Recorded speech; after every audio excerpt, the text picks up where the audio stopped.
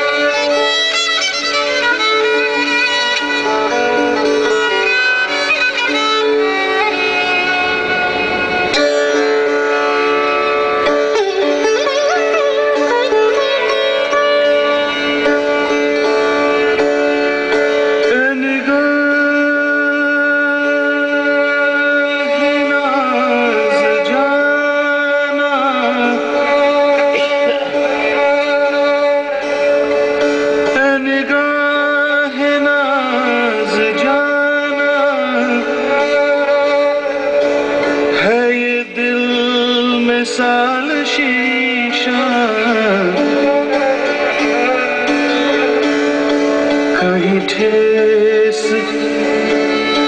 लग न जाए। जरा देखना संभल के।